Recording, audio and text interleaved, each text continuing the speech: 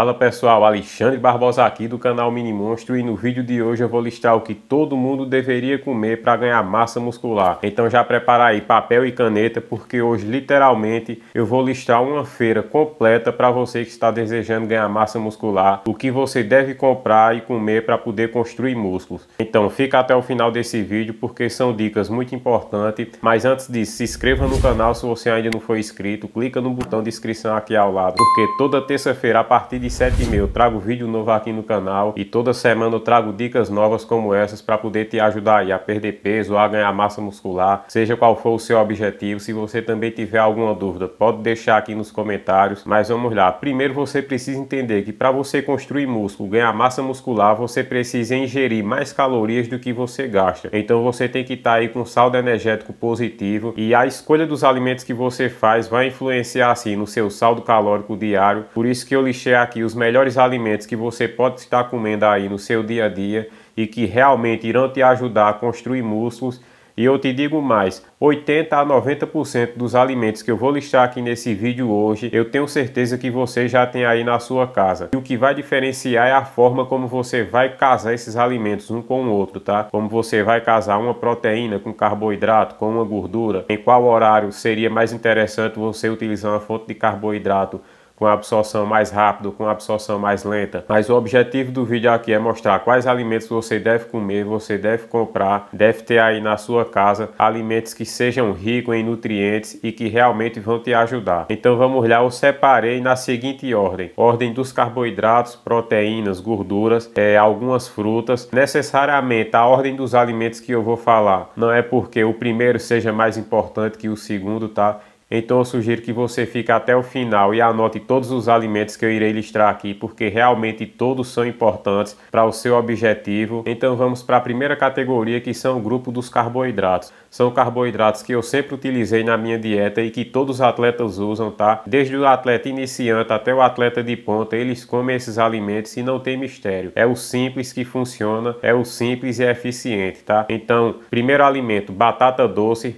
tão popular aí na mesa do brasileiro, como vocês sabem, e principalmente no mundo dos atletas e de quem pratica atividade física. Por que, que a batata doce é tão boa? Realmente a batata doce é muito boa porque é um alimento que tem um baixo índice glicêmico, tá? Então vai te fornecer energia de forma gradativa, o que torna um alimento interessante para você estar tá comendo aí no pré-treino. Você também pode utilizar no pós-treino, mas no pós-treino eu já acho mais interessante você usar um alimento com absorção mais rápida pelo seu organismo, com um índice glicêmico mais alto. Você pode utilizar a batata doce logo na sua primeira refeição, também é interessante, ou numa refeição intermediária, à noite também na janta, é bastante interessante você utilizar. E ainda ainda nessa pegada das raízes, se você tiver enjoado de batata doce, uma segunda opção é a mandioca, tá? Popularmente aí conhecida por aipim em algumas regiões, ou macaxeira também é uma fonte de carboidrato muito interessante para você usar aí ao longo do seu dia a dia. E outra opção também é o inhame. Também é um carboidrato muito bom que você pode estar incluindo aí na sua dieta, que não vai ter erro, você vai conseguir ter resultados. Uma outra fonte de carboidrato também que você pode estar incluindo aí é o arroz. Pode ser o arroz branco ou o arroz integral, tá? Você pode usar ele aí também como pré-treino ou pós-treino, no almoço, é, numa refeição intermediária, no horário da tarde também vai ser bastante válido. Uma outra opção também de carboidrato que eu costumo utilizar bastante nas minhas refeições é a aveia, que eu sempre utilizo na minha primeira refeição. É um carboidrato com absorção mais lenta, com índice glicêmico mais baixo, também é rico em fibras e em vitaminas e também é um carboidrato barato, fácil de encontrar. Você pode encontrar em caixinhas no supermercado ou você pode ir nessas lojas que vendem produtos naturais que você também vai conseguir comprar no peso, torna-se ainda mais viável, você vai ter um custo-benefício mais interessante interessante. Então, o carboidrato realmente é uma peça-chave para você que está desejando ganhar massa muscular. Não tem como a gente falar aí de reposição de glicogênio sem incluir os carboidratos. E realmente você deve consumir carboidrato para construir músculo, é essencial. Se você tem medo de engordar porque está consumindo carboidrato, o problema não é o carboidrato, é a dieta que está mal elaborada. É verdade. Mas vamos aí para o próximo item, a próxima categoria que são as proteínas. São tão essenciais quanto o carboidrato para você que está desejando ganhar massa massa muscular ou até para você que está desejando emagrecer. O primeiro da lista tão conhecido é o peito de frango. Realmente é um alimento que tem um alto valor biológico. Para você ter ideia, em cerca de 100 gramas de peito de frango você consegue ter aí aproximadamente 25 gramas de proteína. Então realmente é um alimento que não é tão caro, tá? Se você não consegue comprar o peito de frango que vem sem gordura, tá? Sem aquela pele, vem pouca gordura. Uma outra opção que você pode estar escolhendo aí também é a coxa do frango, a sobrecoxa. Você também pode estar comprando, ao invés do filé de peito de frango, pode estar comprando o peito mesmo, que é aquela parte que ainda vem o osso do frango. Você vai retirar o osso, vai dar mais um pouco de trabalho, mas em compensação ele é mais barato que o filé e também vai ter um custo-benefício bastante interessante. Uma outra opção de proteína que você pode estar escolhendo é a carne vermelha. É fonte de ferro, fonte de creatina, também é uma ótima opção para você incluir aí na sua dieta. Sei que tem algumas partes nobres que são realmente caro, tá? Mas você pode estar escolhendo aí algumas opções de cortes magros. Você pode estar comendo aí maminha, patinho, músculos. São três partes interessantes para você incluir na dieta e que realmente vão te trazer resultados. Uma terceira opção são, são os peixes, que são ricos em proteínas e ricos em ômega 3 também, que são gorduras saudáveis. Você pode estar escolhendo aí sardinha ou atum, de preferência a consumir o alimento mesmo ao invés daqueles enlatados, tá? Então procure o peixe fresco. Você pode estar comprando aquelas sardinhas tratar e realmente vão te fornecer uma boa quantidade de proteínas e de gordura, como eu listei aqui. Mas se você por acaso for comprar aqueles enlatados, então opte por opções mais saudáveis, tá? Certo? A gente sabe que os enlatados enlatados vem aí grandes quantidades de sódio e de conservante, mas uma boa opção de sardinha ou de atum que você pode estar escolhendo são o atum em água ou no azeite, tá? Eu gosto mais de escolher essas duas opções e o próximo alimento aqui da classe das proteínas são os ovos. Realmente é muito popular, principalmente no mundo aí de quem gosta da musculação, quem é atleta, quem está começando a treinar agora, sempre ouve falar em comer ovo, batata doce e realmente ele faz jus à sua fama, porque realmente é um alimento alimento com alto valor biológico, tá? Em proteínas e em gorduras saudáveis também. Justamente eu deixei lá aqui como último alimento na classe das proteínas, porque além da proteína ele tem gorduras que é interessante você incluir aí na sua dieta. Então a próxima classe de alimentos que eu irei listar são as gorduras e eu já deixei o ovo no final por isso, porque você vai comprar um alimento e vai ter aí duas fontes de nutrientes para sua dieta. Então, para você ter ideia, em um ovo completo, um ovo médio, você vai ter aí cerca de 6 gramas de proteína proteína, além das gorduras boas que vão te ajudar a bater a sua meta calórica diária de gordura. Então é bastante válido você incluir ovo na dieta. E o próximo grupo aí de alimentos que eu vou listar são as gorduras. Assim como os carboidratos e as proteínas são importantes para você ganhar massa muscular, você também deve incluir gorduras saudáveis na sua alimentação. E uma boa fonte de gordura boa é o ovo, como eu já listei aqui, mas você também pode escolher aí azeite de oliva extra virgem, também é bastante válido utilizar utilizar. Uma outra opção também barata e acessível é o amendoim. Você pode estar usando tanto o cereal, tá, o grão, quanto a pasta de amendoim, não vai ter diferença. A pasta de amendoim vai sair mais cara porque já é um alimento que foi ali processado e o amendoim você vai encontrar na sua forma natural, então vai ser mais barato de encontrar. Mas pode optar aí uma dessas duas opções que será uma boa escolha. E também você deve incluir alimentos que são ricos em vitaminas e minerais. Uma boa opção é você escolher o brócolis para a sua dieta, que realmente é um alimento rico em fibras, rico em vitaminas e minerais, antioxidantes. Você também pode incluir aí saladas, tá? Principalmente as fontes verdes, couve-flor, alface, espinafre, pepino. E vamos partir agora para o grupo das frutas. E uma boa opção é você escolher aí a banana, que é uma ótima fonte de carboidrato que você pode estar usando aí no seu pré-treino ou no seu pós-treino, tá? Vai te fornecer uma boa fonte de energia. É um alimento simples, fácil de encontrar, com custo custo-benefício bastante viável que você pode estar levando aí para o trabalho, para um lanche na faculdade, junto com a proteína, lógico. Então é uma boa opção. Uma outra opção também de carboidrato é a maçã, a pera, também é bastante válido você incluir aí na sua dieta, que vai te fornecer energia, vitaminas, tá? Que são importantes para o funcionamento do seu metabolismo, do seu organismo. E o último que eu irei listar aqui, eu vejo que o pessoal negligencia muito. Às vezes o pessoal tá seguindo tudo correto correto tá a questão do consumo do carboidrato, das proteínas, gorduras, tá incluindo aí suas vitaminas também, consumindo fruta, tudo. Mas eu vejo que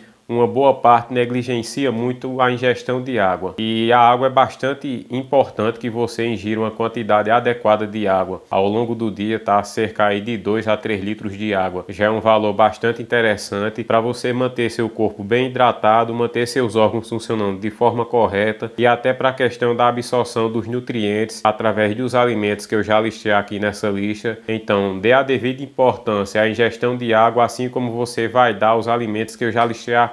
Não negligencie isso aí, porque senão você vai botar tudo a perder o seu treino e a sua dieta, tá? Eita, que merda, hein? Pô, não sabia. Então é importante sim. E outra coisa, se além desses alimentos que eu já listei aqui, você sente a necessidade de incluir algum suplemento para melhorar a sua performance e o seu ganho de massa muscular, então já gravei um vídeo aqui no canal onde eu listo os 5 melhores suplementos para quem está desejando ganhar massa muscular. Vou deixar ele aqui ao lado, dá uma conferida nesse vídeo, porque eu tenho certeza que junto com esse vídeo das escolhas dos alimentos, você vai conseguir ter bons resultados. E se inscreva no canal se você ainda não for inscrito, para não perder o próximo vídeo da próxima terça então já clica no botão de inscrição e no sininho aqui ao lado, porque assim que sair vídeo novo você vai ser notificado. Então fiquem com Deus, até a próxima, valeu, fui!